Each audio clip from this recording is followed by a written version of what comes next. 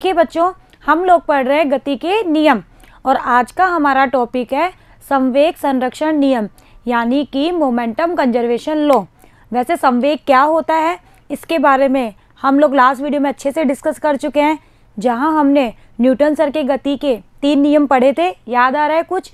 वहाँ हमने संवेग की बात करी थी और हमने बताया भी था कि संवेग क्या होता है, ठीक है, इसकी हमें ज़रूरत क्यों पड़ी, इसका मतलब कहाँ इसका यूज़ आता है? ये सब चीज़ें हम लोग वहाँ पे डिस्कस कर चुके हैं। तो जिन बच्चों ने वो वीडियो नहीं देखा है, आप वो वीडियो ज़रूर देखिए, क्योंकि वहीं से ही आपको संवेग, यानी कि मोमेंटम के बारे में पता चलेगा। आज हम क्या पढ़ने वाले हैं? इसके संरक्षण का नियम। आप लोगों को याद हो तो जो फ़र्स्ट चैप्टर था हमारा फ़र्स्ट जो चैप्टर था, जिसमें हमने फिजिक्स के बेसिक कॉन्सेप्ट पढ़े थे, जिसका एक वीडियो था सिंगल वीडियो ही था उस चैप्टर का, उसमें हम लोगों ने संरक्षित राशियों के बारे में बात करी थी। करी थी ना कि भाई संरक्षित राशियाँ क्या होती है? तो वहाँ मैंने आपको बताया था कि ऐसी राशियाँ जो समय के साथ अपरिवर्तित रहती है, यानी कि समय के साथ उनमें कोई चेंज नहीं आना चाहिए, उनसे हमने क्या कहा था? संरक्षित, यानी कि कंजर्वेटिव कंजर्वेटिव राशियाँ मतलब संरक्षित राशियाँ हमने कहा था। कहा था ना, जहाँ जैसे हमने एग्ज़ाम्पल में बताया था, ऊर्जा है, संवेग है, आवेश है ये सारी की सारी हमारी क्या होती है? संरक्षित राशियाँ। भाई, ऊर्जा के बारे में आप लोग पढ़ते आ रहे हो ना? क्या? कि ऊर्जा को ना तो आप उत्पन्न कर सकते हो, ना ही नष्ट कर सकते हो, केवल एक रूप से दूसरे रूप में परिवर्तित कर सकते हो। इसलिए हमारी जो ऊर्जा होती है, वो जैसे हमारी जो भी घटना होती है, उसके पहले की हो और घटना के बाद की हो, वो टोटल जो ऊर्जा होती है, वो संरक्षित होती है। उसी तरह से हमारा जो संवेग होता है वो घटना के पहले हो चाहे बाद में हो, दोनों संवेग बराबर होते हैं या टोटल जो संवेग होता है वो संरक्षित होता है। इस चीज़ को हम यहाँ आज दो तरीके से प्रूफ करेंगे और ये जो पार्ट है, ये है बहुत छोटा सा, लेकिन बहुत इम्पोर्टेंट है। क्यों? क्योंकि यहाँ से न्यूमेरिकल पोर्शन बहुत अच्छे से कवरअप होता है। ठीक है? तो आप लोग इसको अच्छे से समझिएगा। तो हेडिंग लगाइए, संवेग संरक्षण का नियम। अब देखिए, हम बात कर रहे हैं संवेग संरक्षण की। मैं आप लोगों को पहले भी बता चुकी हूँ कि संवेग जो होता है, वो एक संरक्षित राशि होती है। संरक्षित राशि क्या होती है? इसके बारे में भी हम डिस्कस कर चुके हैं, जो समय के साथ परिवर्तित नहीं होती है।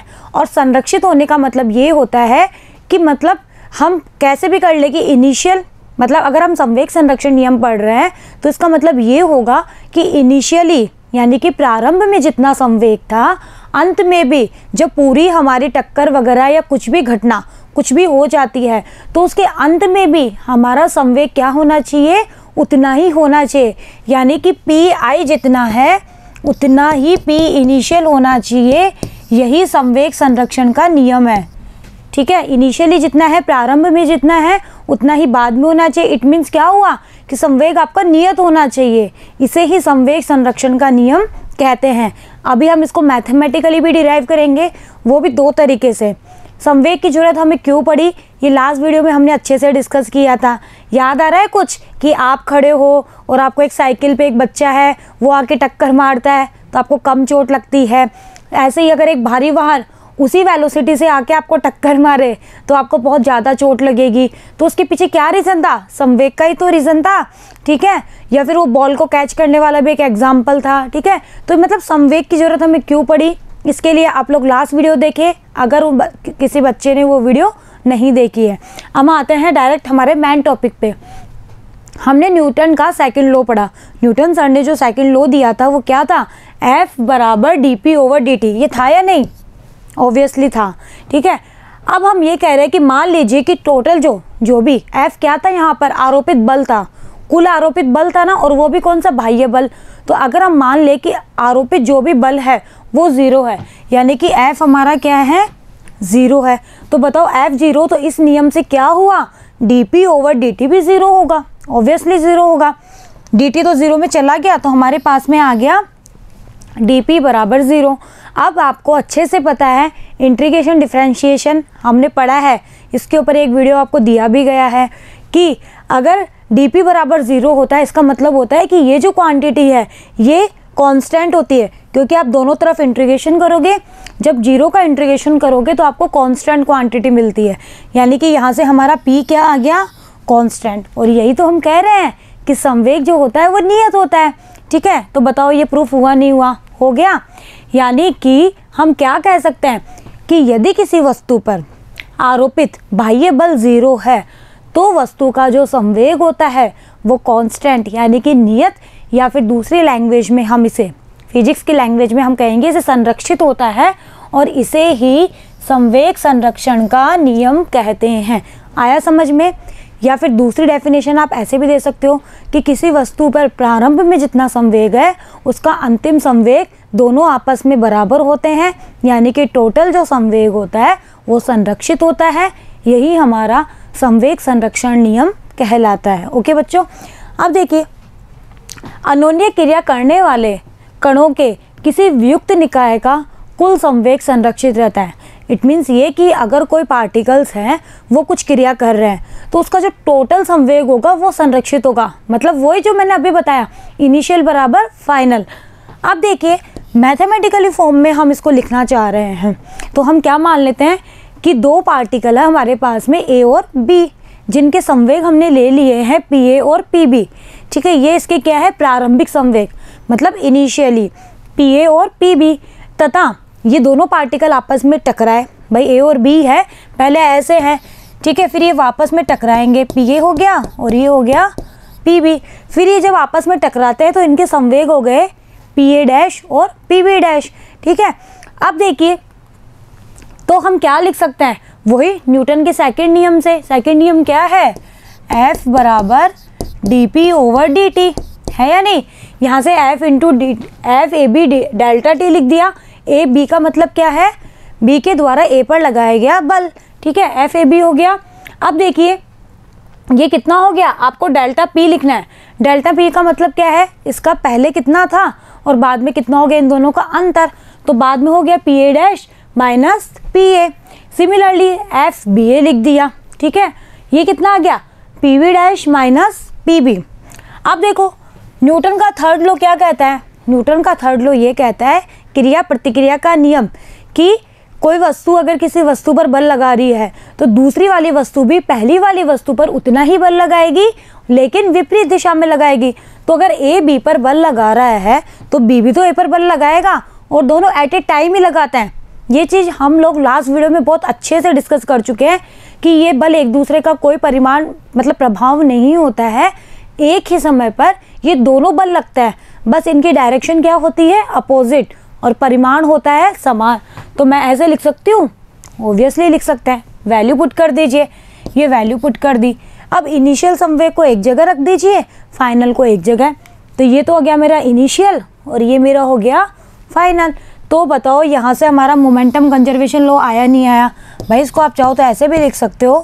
पी इनिशियल बराबर फ़ी फाइनल और यही हमारा क्या होता है? संवेग संरक्षण का नियम। अभी हम इसको दूसरे तरीके से भी करेंगे, ओके? तो इस तरह से। अतः वियुक्त निकाय। अब जो वियुक्त निकाय बन गए ए प्लस बी उसका प्रारंभिक जो संवेग है, उसके अंतिम संवेग के बराबर है। अब देखो, संवेग संरक्षण नियम के एग्ज़ाम्पल क्या हो सकता है? रॉकेट की गति। भैया, आपका जो रॉकेट उड़ता है, उसका प्रारंभ में क्या होता है? मान लीजिए ये आपका रॉकेट है, ठीक है? कुछ ऐसे मान लीजिए जब प्रारंभ में रॉकेट रखा हुआ है, अभी उड़ थोड़ी रहा है तो वेग ज़ीरो वेग ज़ीरो तो संवेग भी ज़ीरो क्यों? क्योंकि P बराबर क्या होता है? एम वी भाई मास तो ज़ीरो नहीं होगा, लेकिन अभी इनिशियली ये रखा हुआ है, गति नहीं कर रहा है इट मीन्स इसका वेग ज़ीरो वेग ज़ीरो मतलब इसका पी इनिशियल कितना होगा? ज़ीरो अब देखो, मैंने मान लिया कि रॉकेट जो है, उसका द्रव्यमान तो है कैपिटल एम और रॉकेट के पीछे से जो धुआँ निकलती है निकलती है ना उसका द्रव्यमान मैंने मान लिया स्मॉल एम तो अभी ये धुआँ भी नहीं निकल रही है, इसलिए इसका वेग स्मॉल वी भी ज़ीरो रॉकेट भी स्थिर है, इसलिए इसका जो वेग है कैपिटल वी वो भी ज़ीरो है या नहीं? है। ठीक है? आप देखो, यानी कि पी इनिशियली रॉकेट का जो संवेग है, वो ज़ीरो है। इट मीन्स क्या हुआ?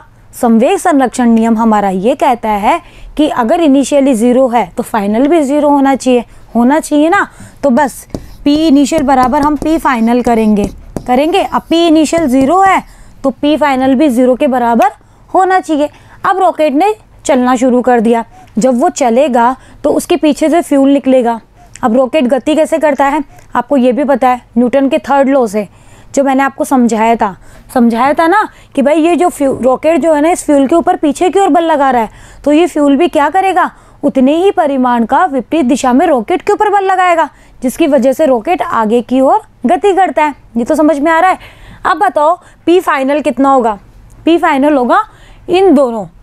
फ्यूल फ्यूल मतलब जो गैस निकल रही है वो और जो रॉकेट है, उसका टोटल संवेग कितना होगा?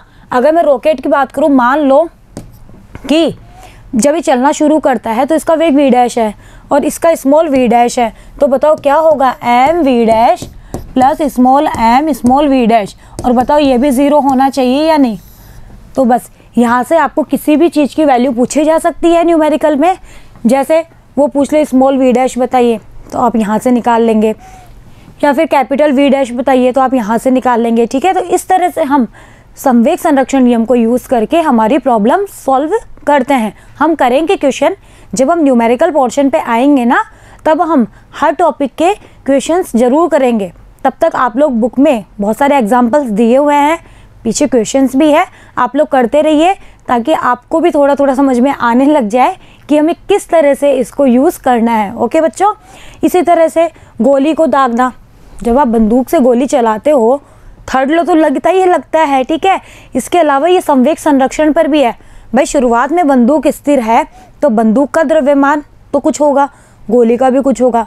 बंदूक का वेग भी ज़ीरो है और गोली जो चल रही है उसका भी ज़ीरो, यानी कि इनिशियली संवेग ज़ीरो है। तो गोली चलाने के बाद भी हमारा संवेग क्या होना चाहिए? ज़ीरो।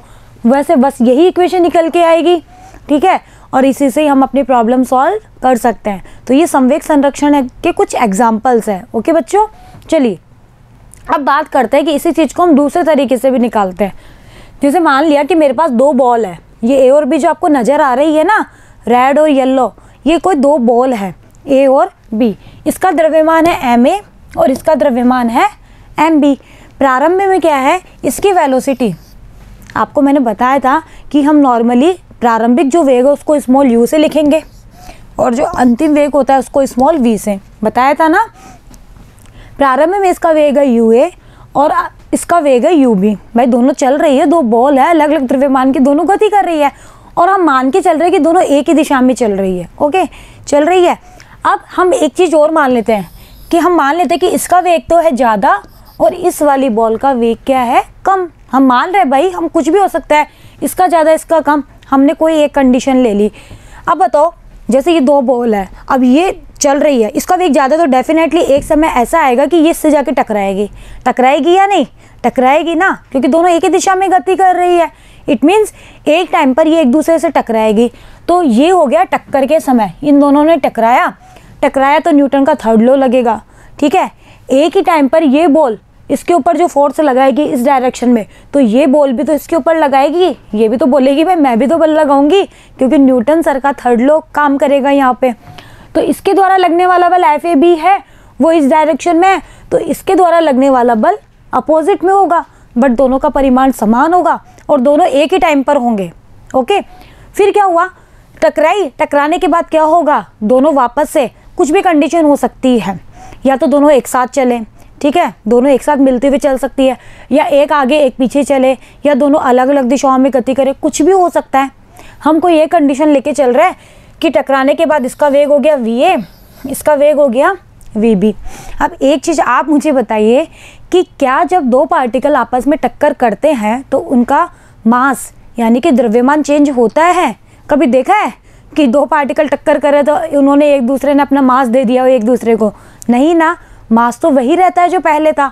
तो एम ए और एम बी इनका मास रहेगा ही रहेगा। बाद में भी रहेगा ही रहेगा। अभी किसी भी डायरेक्शन में जा रही है। बस इनके वेग चेंज हो गए। डेफिनेटली हो गए। हो सकता है एक फास्ट एक स्लो या एक रुक जाए, एक चलने लग जाए, या दोनों एक समान वेग से गति करें। कुछ भी कर सकते हैं। हमने एक नॉर्मल केस ले लिया कि इसकी वेलोसिटी है वी ए और इसकी वेलोसिटी क्या है? वी बी अब हमें नहीं पता कि वी ए ज़्यादा है या वी बी ज़्यादा है। हमें ये चीज़ नहीं पता है। शुरुआत में तो हमने मान लिया था, लेकिन अब हमें नहीं पता है कि कौन ज़्यादा है। ओके मास चाहे टक्कर के बाद हो, चाहे टक्कर के वक्त हो, चाहे टक्कर के पहले हो, दोनों के सेम ही रहेंगे। अब देखिए, न्यूटन सर का थर्ड लो क्या कहता है? कि एफ़ ए बी बराबर माइनस एफ़ बी है माइनस क्यों है? इस चीज़ में आप कभी भी गलती मत करना, यहाँ हमेशा माइनस आएगा। अगर आप एफ़ को वेक्टर फॉर्म में लिख रहे हो तो आपको यहाँ माइनस लगाना है, क्योंकि दोनों बलों की दिशा विपरीत होगी। और परिमाण के फॉर्म में लिखते हो तो कैसे लिखोगे? इस तरह से। तब आपको माइनस नहीं लगाना है ओके ये चीज़ आप लोग हमेशा ध्यान रखना, अक्सर बच्चे यही गलती करते हैं। और यहाँ गलती करने की वजह से उनका पूरा डेरिवेशन समझ लो, चाहे न्यूमेरिकल समझ लो, पूरा गलत हो जाता है। सब कुछ आते आते भी हमारे छोटे से मिस्टेक की वजह से हमारा पूरा क्वेश्चन गलत हो जाता है। तो यहाँ गलती नहीं करनी है। अब बताओ एफ़ जो होता है वो क्या होता है? एफ़ हम जानते हैं, न्यूटन सर ने ही दिया था एम ए होता है। निकाला था ना हमने, और ए क्या होता है? ए होता है D V over D T होता है नहीं होता? अब डी वी और डी टी का मतलब क्या होता है? वेग में परिवर्तन की दर समय के साथ वेग में परिवर्तन, यही तो है। अब मैंने मान लिया, बताओ इसके वेग में कितना परिवर्तन हुआ? पहले था यू ए और बाद में हो गया वी ए तो कितना परिवर्तन आया? V A minus U A और मैंने मान लिया कि ये समय टी वन पर है, जबकि अभी टी वन और टी टू बराबर होंगे क्योंकि ये चीज़ हम जानते हैं। न्यूटन सर ने जो थर्ड लो दिया था, वहाँ उन्होंने इस चीज़ को बहुत अच्छे से क्लियर करके चला था कि ये एक ही समय पर होता है। समय अलग नहीं होता है, बस वस्तुएँ अलग होती है, ठीक है?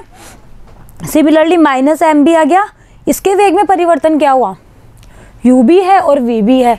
तो V B minus U B और टी टू। अब यहाँ टी वन और टी टू बराबर होंगे, क्योंकि न्यूटन सर ने ये बताया था कि एक ही समय पर ये दोनों चीज़ें होती है। तो टी वन ये कट जाएँगे। अब बताओ क्या बचा? अब बचा ब्रैकेट खोल दीजिए। M A V A minus M A U A बराबर minus M V V B और माइनस माइनस प्लस हो जाएगा। एम वी यू बी आया नहीं है? अब क्या करना है? वी वी मतलब जो वी ए वी वी वाली टर्म से उनको एक जगह रख दीजिए और ए और यू ए और यू बी वाली टर्म को एक जगह। अब देखो M A U A plus M B U V ये क्या हुआ? एम वी होता है हमारा संवेग। होता है। अब बताओ ये इनिशियल संवेग है या नहीं? भाई, प्रारंभ इसका वेग यू है इसका यू भी तो ये टोटल मिलके इनिशियल संवेग हुआ नहीं हुआ? हुआ। ये फाइनल हुआ नहीं हुआ? हुआ। तो बताओ पी इनिशियल बराबर पी फाइनल आया नहीं आया? आ गया। यानी कि हमारा जो संवेग है वो क्या है? संरक्षित राशि है। है ना? और यही चीज़ हमें प्रूफ करनी थी। तो बच्चों संवेक संरक्षण नियम आपको समझ में आया? जब भी आपको संवेक संरक्षण नियम लगाना हो तो बस आप इतना देखिए कि उसका प्रारंभिक संवेक कितना है, उसका अंतिम कितना है, और उसको उन दोनों को बराबर रख दीजिए। अपने आप आपका जो भी न्यूमेरिकल होगा या जो भी क्वेश्चन आपको दिया हुआ होगा, वो सॉल्व हो जाएगा। ओके बच्चों? अब इसमें एक छोटा सा टॉपिक और है। थोड़ा सा नोट है जो आप लोग ध्यान रखिएगा कि यदि F1 और F2 किसी कण पर लगने वाले दो बल हैं। कोई कण है जिसके ऊपर F1 और F2 दो बल लग रहे हैं। तो साम्य अवस्था, बहुत बार क्वेश्चन आता है कि दे देगा कि एक कण है और ये साम्य अवस्था में तो उसका मतलब ये है कि उसके ऊपर जो भी बल लग रहे हैं, वो आपस में विपरीत दिशा में है। परिमाण में तो समान है, लेकिन दिशा में क्या है? विपरीत। या फिर इसको दूसरी तरीके से भी हम लिख सकते हैं, वो क्या? कि इसके ऊपर लगने वाले जितने भी बल हैं वो उन सबका योग ज़ीरो के बराबर है। ये क्वेश्चन करने के हिसाब से नोट है तो इसको भी आप थोड़ा बहुत ध्यान रखिएगा। अब मान लो, उसके ऊपर तीन फोर्स लग रहे हैं, और सामने अवस्था के लिए बताओ क्या शर्त होगी? F one vector F one plus vector F two plus vector F three बराबर ज़ीरो तो ये चीज़ आप लोग ध्यान रखिएगा ओके अब अगर दो फोर्स है तो इस तरह से लगेंगे। भाई साम्य अवस्था में कोई भी पार्टिकल कब रह पाएगा? जब उस पर लगने वाला एक बल, दूसरे बल के परिमाण में तो समान और दिशा में विपरीत हो, तभी तो होगा। जैसे ये स्लाइडर है, ये मेरे हाथ पर यहाँ स्थिर रखा हुआ है। क्यों रखा हुआ है? क्योंकि नीचे से इसके ऊपर जितना फोर्स लग रहा है, इसके ऊपर लगने वाला फोर्स इसको बैलेंस कर रखा है। तभी तो लग रहा है, तभी तो ये क्या है? स्थिर है। लेकिन जैसे ही मैंने उठा लिया इट मीन्स अब क्या हुआ? ये ऊपर की ओर गति करा।